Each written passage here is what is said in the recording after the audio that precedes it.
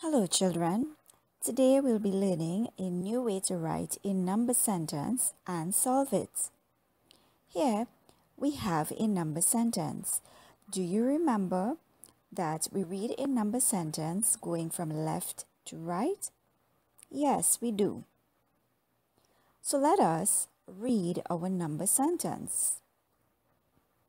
4 plus 2 equals something. So boys and girls, today we are learning how to write that number sentence differently. Instead of going left to right as we are accustomed doing, we will now write our number sentence going from up to down. So let us begin by writing the first number. Our first number is 4. So let's write down 4.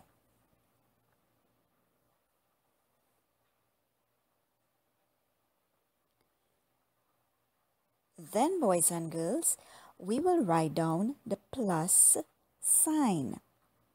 Our plus sign goes right next to number 4. Remember, we are writing going from up to down.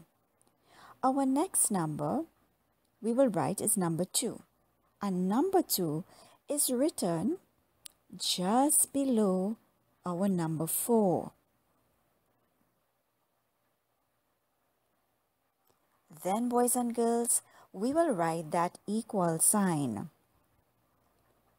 And our equal sign comes just below number 2.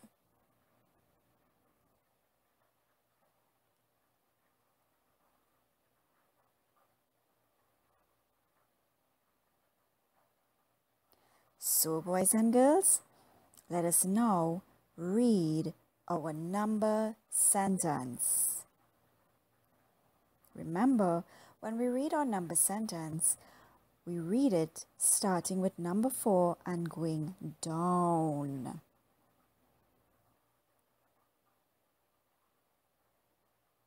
So let's read our number sentence. 4 plus 2 equals something our answer will be written in between the equal sign. Can we now solve our number sentence? Let us start with number 4. Let's draw four flowers. Count with me. One,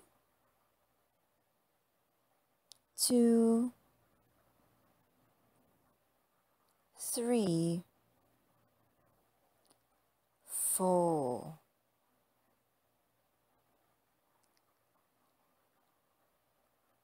plus draw two more flowers.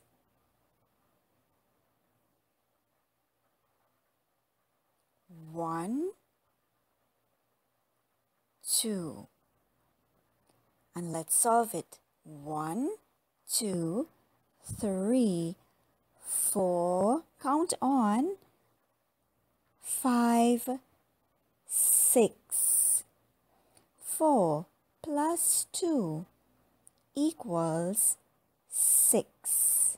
Let's write that number six in between our equal sign.